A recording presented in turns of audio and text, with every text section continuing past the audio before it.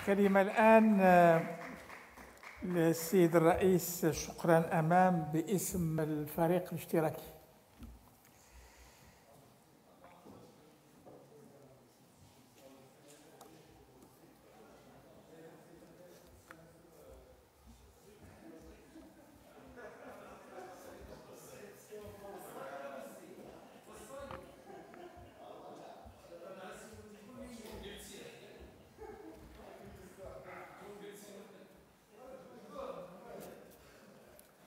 شكرا السيد الرئيس. السيد رئيس الحكومة السيدات والسادة النواب المحترمين يوم مبارك. أه كنتناول الكلمة باسم الفريق الاشتراكي من أجل المناقشة ديال العرض ديال السيد رئيس الحكومة اللي جا في إطار المادة 68 من الدستور والمتعلق بتطورات تدبير الحجر الصحي لما بعد 20 ماي طبيعة الحال كاينة واحد المجموعة الأسئلة كطرح نفسها ولكن كنشوفوا في الفريق الاشتراكي على أنها مرتبطة بالأمد المتوسط والبعيد. ربما هذه المناسبة لا ديال القانون المالي التعديلي ولا ديال القانون المالي 2021 ولا كذلك النقاش المرتبط بالنموذج التنموي الجديد اللي غادي تطرح فيها. حنا كنتمنوا هذه اللحظة الدستورية اللي هي هامة بطبيعة الحال. ولا نريد أن نسهب الحديث فيما تحقق بالمجهودات أو بالمجهود الوطني الكبير بالروح الاستباقية بتوجيهات وقيادات جلالة الملك. بالتضحيات بالتعبئة بالتزام جماعي في مواجهة الجائحه يمكن القول بأننا آه، نجحنا اليوم مؤقتا في الحد من تداعياتها ونسأل الله تعالى الخروج منها بأقل ما يمكن من الخسائر. السيد رئيس الحكومة استمعنا لعرضكم بامعان بكافة المعطيات الهامة الواردة به وتطرقت جوانب متعلقة بتدبير الحجر الصحي بعد 20 ماي ورؤية الحكومة للتخفيف ديال الحجر الصحي واولويات إنعاش الاقتصاد الوطني في المرحلة المقبلة. ولا أخفيكم سرا السيد رئيس الحكومة. أنا رجعت قريت العرض ديالكم في مناسبات متكررة. وبكل صدق لقيت على أنه الأمر وكأننا بمسلسلين في أجزاء. اللي كنساليو الجزء في الحلقة الأخيرة. كنلقاو دائما ديك النقطة ديال الغموض. علاش؟ لأنه ما تقدمتش واحد المجموعة ديال الإجابات اللي كنا نتمناو على أنها كانت تكون حاضرة في العرض ديالكم. على الأقل على الأقل باش أنها تساهم في تعبئة جديدة من أجل المزيد من الصبر ومن أجل المزيد من الالتزام في هذه المرحلة المقبلة إلى غاية 20 أو إلى غاية 10 يونيو المقبل. حنا جوج ديال المتدخلين جبدنا 20 الله يستر السيد الرئيس أه، الوضوح آه، مطلوب أكثر من أي وقت مضى. وكنا كنتظروا الفريق الاشتراكي إجراءات عملية تستشرف المستقبل كمكمل لما تفضلتم به من معطيات ومؤثرات ومؤشرات ومبادئ بصيغة عامة. هي بطبيعة الحال هامة وأساسية ومؤطرة لأي فعل مستقبلي ولكنها لا تجيب على أسئلة المواطنات والمواطنين والفاعلين الاقتصاديين والاجتماعيين.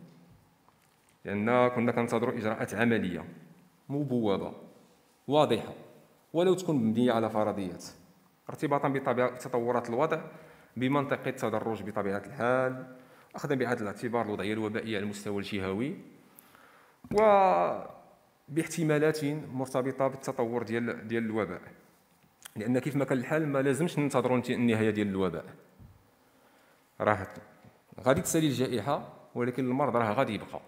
والعالم كامل يشتغل بهذا المنطق لأن في أي لحظة ممكن عود يرجع ترجع الجائحة وبشكل أكبر. ممكن وهذا ما نتمناه أن تذهب الأمور في شأن في في اتجاه إيجابي خاصة إذا ما توفر اللقاح لأن واحد السؤال سيد رئيس الحكومة وأنتم في العرض ديالكم ركزتوا على واحد النقطة اللي هي كانت السبب لربما في أن هذا التمديد هو هذا الظهور ديال آه، البؤر الجديدة.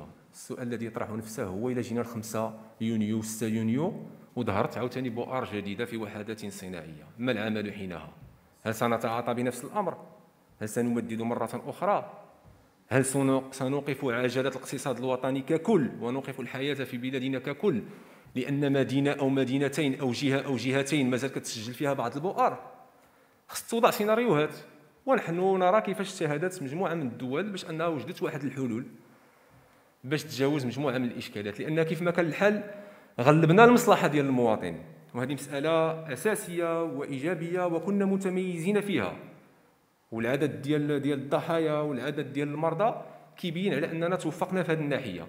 لكن الخوف هو أن هذا التمييز يجي في واحد اللحظة التي يجب أن نتخذ فيها قرارا برفع الحجر باش أن الاقتصاد الوطني يرجع للطبيعة ديالو وترجع الحياة الطبيعية. ونصدقوا ما حنا ربحنا الجانب الصحي ما حنا ربحنا الجانب الاقتصادي. يجب أن يكون هناك نوع من التوازن. وهو توازن مطلوب بطبيعة الحال. لكن كيف ما كان الحال على طوال الأمور ستذهب في اتجاه معاكس المواطن راه صابر. راه اللي عنده نوع من, الإمكانيات وراه صابر. ما راه كاين اللي وصل له العظام وحنا شفنا مسيرة خرجت الناس مسيرة ديال الجوع سمات خص يدار مجهود. الدولة دارت مجهود. مجهود كبير. لكن يجب أن ننتبه إلى أولئك الذين لم يتوصلوا بأي دعم يجب أن يعمم. بل وأكثر من ذلك خص واحد التقييم من هذه العملية. ومن استفادوا ولم يكن لهم الحق في الاستفادة. خص المحاسبة ديالهم. راه كاين الناس اللي عندهم الراميد وما استفدوش وكاين الأسرة اللي عندها ثلاثة واربعه عندهم الراميد واستفدوا كاملين. خاص يدار واحد المجهود في هذا الجانب. وعلى المستوى المحلي السلطات خاصها دير تقارير ديالها. ويضبطوا هادو اللي استفدوا. تحل التقارير ويشوفوا شكون اللي استفدوا. كاين اللي محل المحل ديالو يشتغل لم يتوقف عن العمل. ومع ذلك طالب بالدعم وتوصل بالدعم. خاص يكون مجهود في هذا الجانب. لأن كيف ما كان الحال اذا كانت عندنا شي بركة قليلة خاصها توزع على الناس اللي كيستحقوها. أصعب شيء هو أن يتوصل من لا يستحق. هو ليس له ضمير ذلك الذي توصل وهو لا يستحق ليس له ضمير لكن يجب أن يحاسب. السيد رئيس الحكومة إحنا أنتم تكلمتوا تكلمتوا على واحد المجموعة ديال العناوين الكبرى وما عطيتوش التفاصيل. التفاصيل اللي سمعناها سمعناها ربما القطاع الوحيد اللي كانت عنده تفاصيل مدققة هو القطاع ديال ديال التعليم واللي رفع واحد اللوز بالنسبة للمواطنات والمواطنين. على الأقل بانت الصورة. امتحانات إمتى غتكون فوقاش غتكون جيد. ثم بالأمس جاء السيد وزير المالية وتحدث على أنه مباشرة من بعد العيد على أن الوحدات الصناعية والإنتاجية تساعد من أجل استئناف العمل ديالها وهذا مهم. كي كيعطي واحد النوع ديال ديال ديال الإيجابية في التعاطي مع ما يقع بلادنا ونتعاملوا بواحد النوع ديال التفاؤل.